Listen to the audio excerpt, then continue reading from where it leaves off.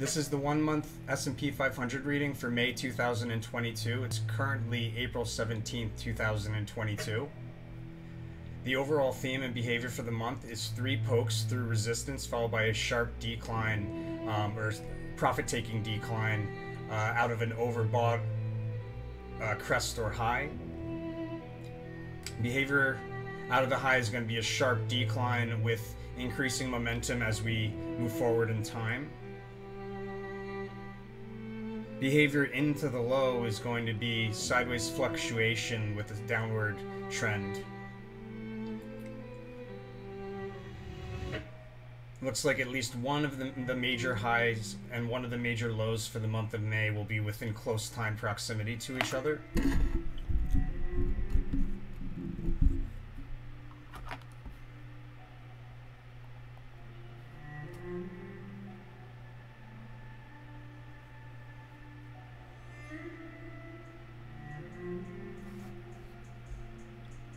So we start off the month with a month's high. There's a month correlator here uh, for the first day of the month, which is the second, the first trading day of the month, which is the second, and we have a sharp decline with a high at the start of the day and a, and a sharp decline from that high down to a low at the end of the day. Uh, Tuesday the 3rd, we have um, a male leader highlighted, a male leader of nations. Um, something significant relative to the rest of the month takes place involving a male leader of nations. Um, on the 4th, Wednesday the 4th, we have, excuse me, let me back up. We have two trade opportunities as well um, on the 2nd. So there's a day trade. Looks like there's a day trade in there. Um, we have two. we have a trade opportunity on on the fourth, Wednesday the fourth. Uh, it looks like two local lows and we push higher out of out of one of the at least one of those lows out of both of those lows move, move higher. So um, pretty bullish day there on, on Wednesday the 4th uh, there's a local high correlator here uh, for the Thursday the 5th and another trade opportunity. So likely what I see happening is a buy I buy calls here low in the day on the 4th and then sell them towards uh, towards wherever we end up here uh, after the rally, probably at the beginning of the day, based on the fact that it's the Queen of Discs, which means we revisit a support level, which was a good opportunity. So we probably push higher, start the day higher here. Looks like we have the week's high is either on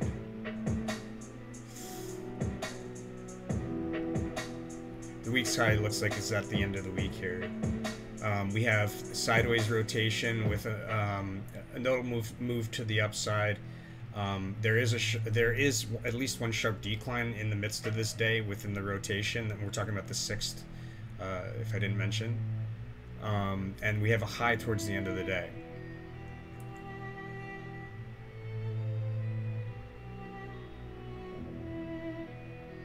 A day's high towards the end of the day, to be clear and we have near near close to overbought territory. Uh, we encounter that on uh, Monday the, the 9th. Near bought over territory on the RSI, near overbought territory on the RSI, and we sell from. Uh, pro- uh, there's a profit taking decline and a sharp decline through support level, uh, through an important support level um, on the 9th.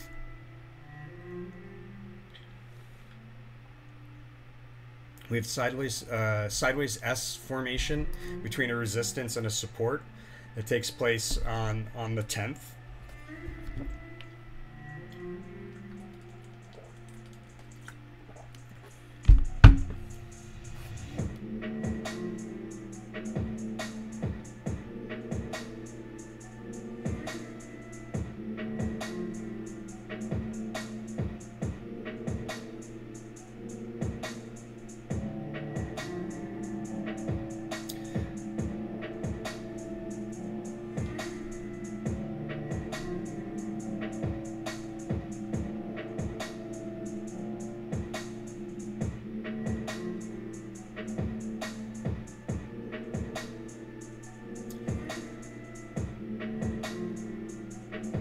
So we move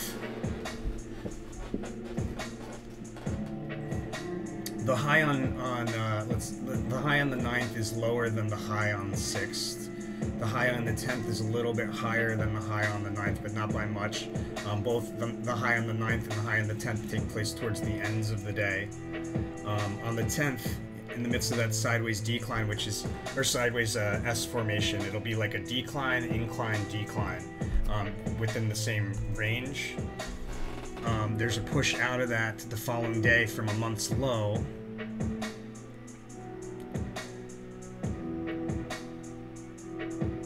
Oh, a trade opportunity. Excuse me, a trade opportunity on the 10th as well, and a local low on the, the on uh, the 10th as well. Now on the on the 11th we have uh, successful. We successfully create support out of old resistance. So we turn new uh, old resistance into new support, um, and there's a low correlator for the month there. So we likely have a low. Um, we we have our first kind of like bottom out there, uh, and then we push much higher the following day. There's like a gap higher. Uh, and a piece of news at the end, but okay, but there's a piece of move. So we move much higher like there's a big move to the upside on the 12th big big move to the upside on the 12th and then there's a uh, almost as equal if not equal move to the downside the following day pretty pretty de strong decline the following day in the middle in between the 12th and the 13th there's an important piece of news relative to the rest of the month an important piece of news that's highlighted um, and we go from that bullish really bullish day on the 12th out of a local low um, to a really bearish day on the 13th. Friday the 13th is an ugly 13th um, out of a local high. Um, yeah, sharp, sharp decline here, guys. We've got the a correlator, a correlation with the cruelty card, an association with the cruel, cruelty card, and ruin. I mean, this is a rough day.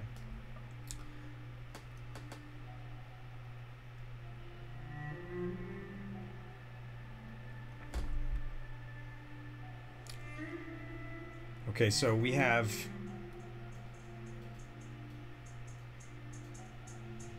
and there's a trade opportunity on the 13th as well. Two trade opportunities on the 16th. Monday the 16th, it looks like.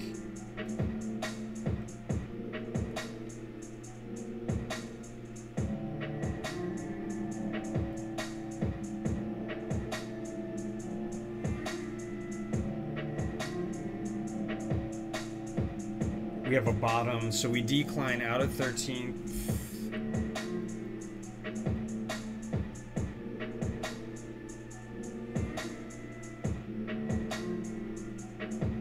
And we come out of a notable bottom on the chart um, when looking at daily candlesticks. We come out of a notable bottom and we present um,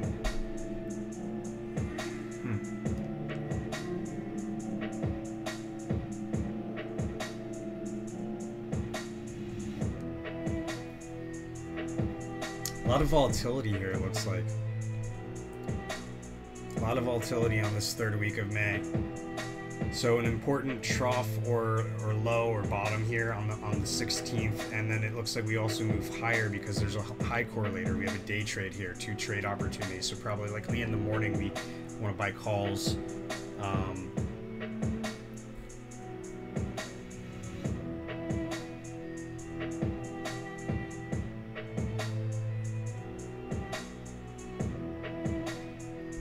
so if we open higher, let's say if we open higher on the 16th than we did, then we we closed on the 13th, then it's going to be buy puts.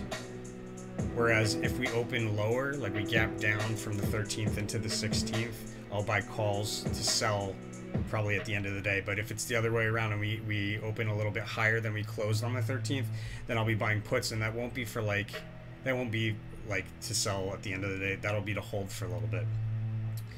Um, we have uh, an important, relative to the rest of the month, an, uh, an, uh, an important uh, price level is highlighted on the 17th.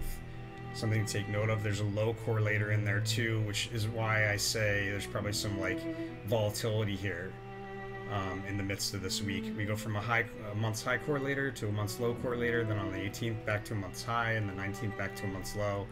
Um, I think we probably see our second, our first high was there. We see our second high here.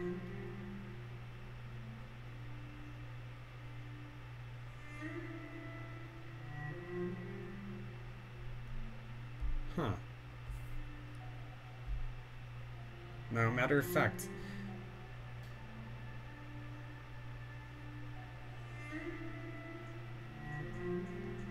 Well, we have a relatively bullish day. Big move to the upside on the, the 18th, but that looks to be out of a low.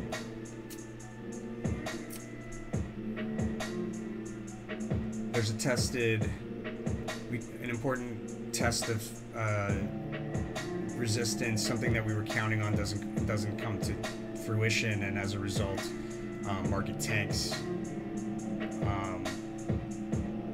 And in the midst of that decline, there's an opportunity to open up some uh, calls.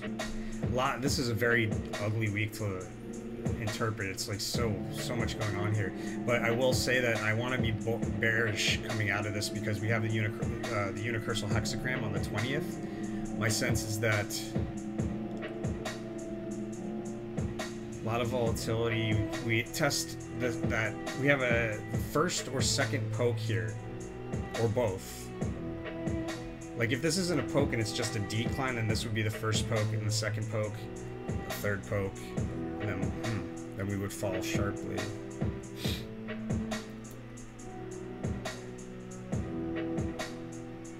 a lot going on, guys.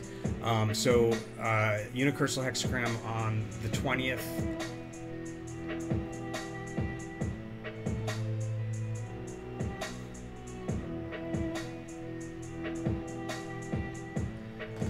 that's generally an opportunity, like a price level that when we have our next correction, will fall will fall through that price level. So something to take note of on the 20th here. Um, there's three crisscrosses through the same price level, confirming a bullish trend, and then the following day on that Monday. Yeah. Okay, so we go down pretty. We we we go down on. I mean, there's some some volatility, but it's a down week, the third week. Uh, possibly with like there being a little peak here on the 19th and then we and then a good opportunity there to drop uh, to buy, buy puts before the drop there. Um,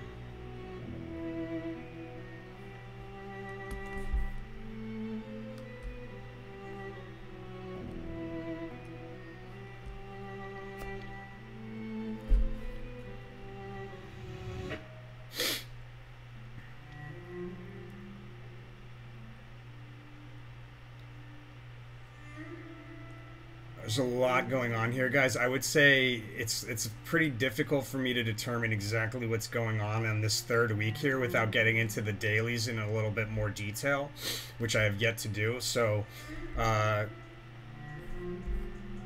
look out for some updates regarding this week in the next few days. Um, that's the week of the 16th to the 20th. On Monday, the 23rd.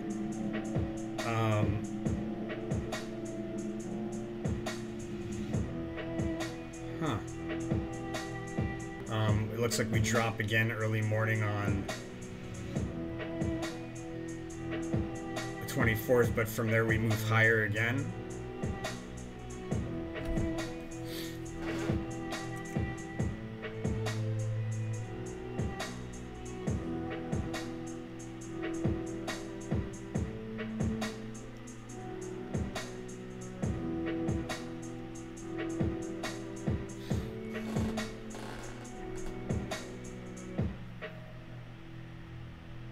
All right, we have two trade opportunities on the 25th. It looks like a day trade opportunity. Um, so, uh, like an opportunity there to open up a call somewhere on that day and then sell it near a support level or a certain, near a resistance level that we expect to break through, but we don't. We break down through that uh, support. Uh, we break down through that after that hitting that resistance we break down through diagonal support on the 26th um, there's like a little bit of a rally, maybe in the early morning uh, into the day, but we break down through that um, gap down on the 27th with a push higher through, even though it seems like we would have an awful day, we push higher through resistance. Um, on the 30th, we have the, the uh, day off. It's Memorial Day, and then the 31st, we have a move higher through a resistance, followed by just staying above it briefly, creating a peak and breaking back down towards it. Um, looks like maybe at the end of the day is that peak, and then we break down back down towards it afterwards.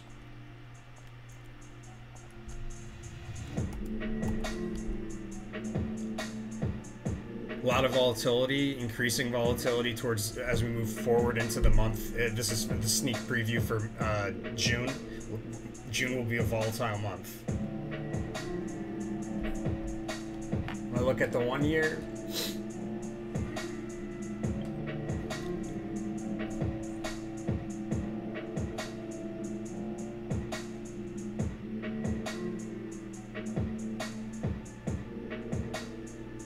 Yeah, so we have a high, the year's high somewhere in, towards, somewhere in late May, possibly uh, the end of May into early, somewhere here. The month, the year's, the year's high is in May, June, May, June. Um, and that's an opportunity too because we have a sharp, we have a, a, a year's low following it in July and August. Um,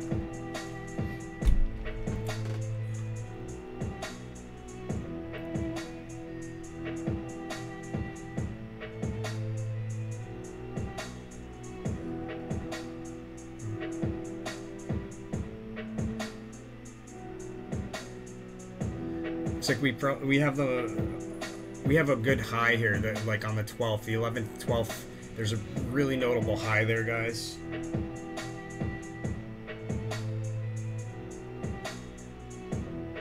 And I mean, this is going to be a memorable week.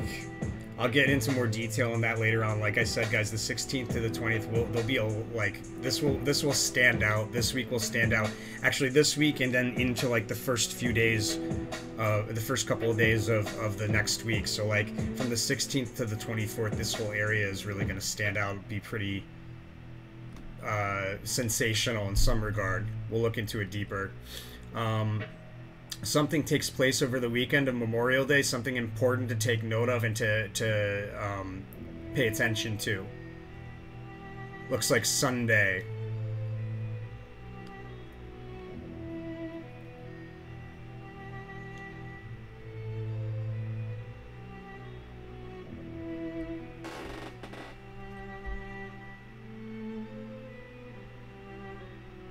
So my trade opportunity, uh, there, my trade opportunity on the 5th is also going to be a uh, opportunity to buy some calls.